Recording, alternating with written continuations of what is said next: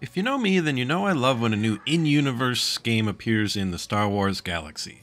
And the Bad Batch has already given us a few new games, like this card game we see Ketch and Bolo playing, or this hex tile game we've seen characters play multiple times in the series. But now we have a new one called Balaans? Ba- Balaans, Balance? Here's how it's spelled.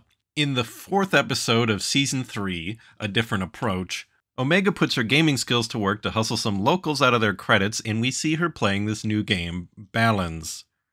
But belongs. What's so exciting about Balance is, unlike the previous new games the show has given us, this game has a name, and the episode guide gives us a look at all of the artwork on the cards, and wow, these cards are gorgeous. Seriously, the art is so stunning.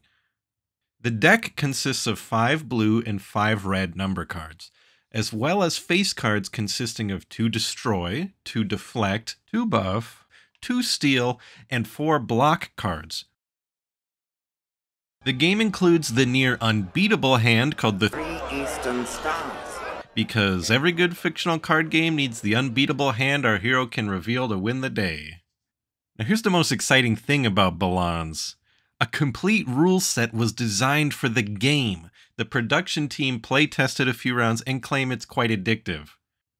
An entire round of the game was actually shot for the episode, but it was cut down for pacing reasons, obviously. So let's all hope that Lucasfilm releases the full official rules for this game soon so we can all try it for ourselves.